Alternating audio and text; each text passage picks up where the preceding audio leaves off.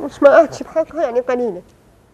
لا تعقم أرض العراق أن تنجب أبناء بررة يمثلون نماذج تحتذى.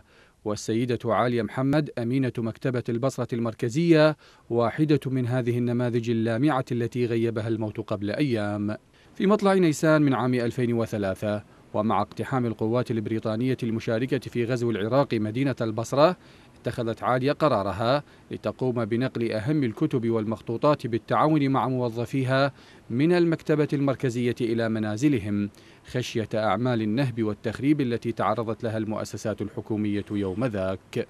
يعني قبل الأحداث بعشرة أيام تقريبا أه نقلنا الكتب المهمة بالمخزن وبالذات مخزن العربي. أه كتب البصرة كتب النوادر المخطوطات. والمصورة المخطوطة والمصورة. وعندنا الكتب المرجعية يعني نحن نسميها أمهات الكتب.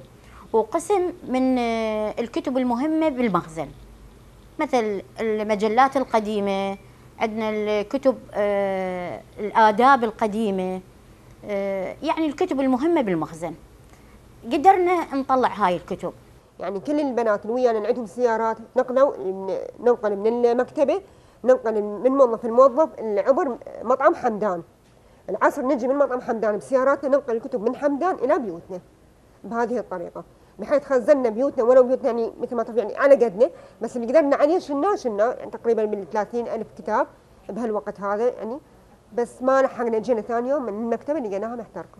المبادرة التي قادتها السيدة عالية والحرص والشجاعة التي أبدتها مع زملائها في المكتبة للحفاظ على ما فيها من ثروة علمية وأدبية جعلها تتحول إلى قصة ملهمة للأطفال على يد الكاتبة البريطانية جينيت وينتر لتتحول لاحقا إلى مسرحية عرضت في العديد من المسارح العالمية.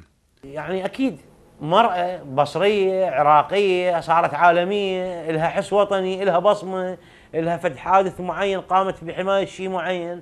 أكيد يعني الناس تقتدي بيها وتفتخر بيها مدعاة فخر مدعاة يعني مباهاة بصراحة الله يرحمها.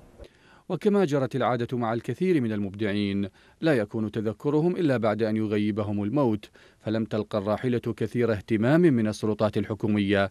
لكن قصة عالية مثلت صورة للدفاع عن المعرفة والثقافة وسط حالة الفوضى والخراب التي يعيشها العراق.